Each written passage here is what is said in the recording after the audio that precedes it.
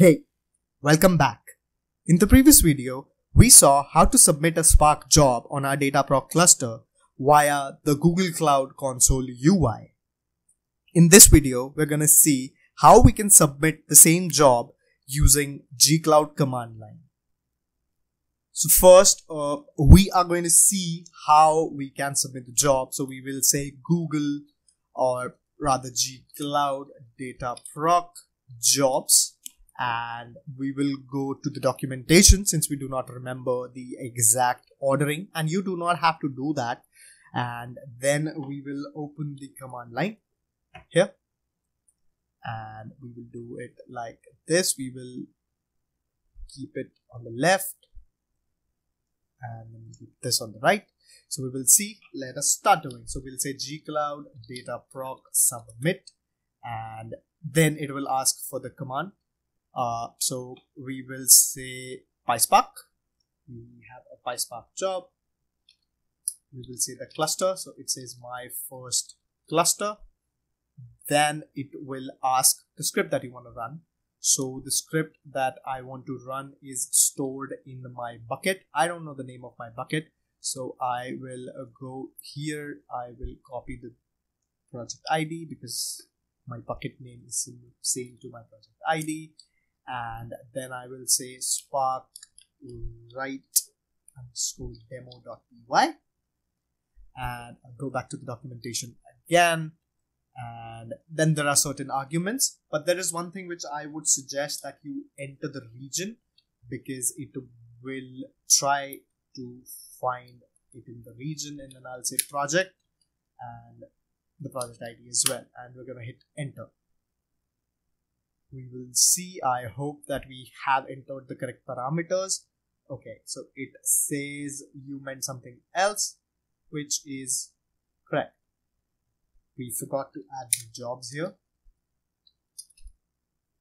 But this should work this time around but it says that there is no cluster found. Hmm interesting.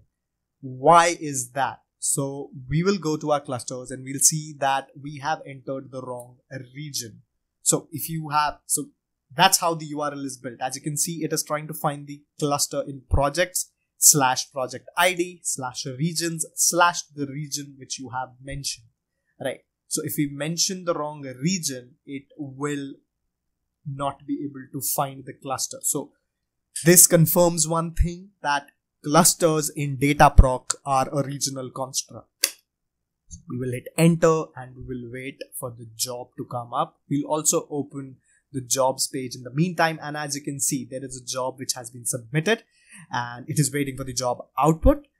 We will definitely get an error because we have a save as table statement in there but we have not added an overwrite uh, mode there and since the table exists with the same name, uh, we will get the exception and rightly so we get the exception that and it says that the number already exists. So what we are going to do is that we're going to fix that right now. We will say write dot mode and we'll say over write we will upload that script once again in our bucket and once it is uploaded, we will uh, submit the same job again. So we're going to submit the same job again. I will do a CLS so it is clear and then I'll submit the job again. Here you can refresh. It is still showing as running, but it should come as failed. Yep, surely it comes as failed. And now again, the job is in the running state. You are getting the same logs that you were getting when we were running the job from the console, we are getting the exactly same logs. You will see that the application has been submitted. The print statement logs are there. It says a lot of things. And within a couple of more seconds, it should be done. Right. While this job is, uh, so yeah, so you get all these stats when the job is complete, that when it was started, what was the ID, what was the project ID, it said it is also showing the status history that it was pending and then setup done, then running and then finished. So see how easy it was. It, it is similar experience but it is more automation friendly. So if you want to uh, start your jobs from your shell scripts you can do that. Just bear in mind that the machine from which you are trying to submit the job has proper credentials because in this case we have configured our gcloud utility with our own credentials. Remember the gcloud auth login that we did in our setup video? So that needs to be done from wherever you want to submit uh, your jobs.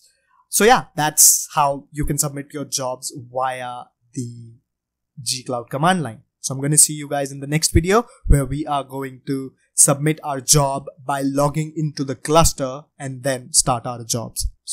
See you then. Bye bye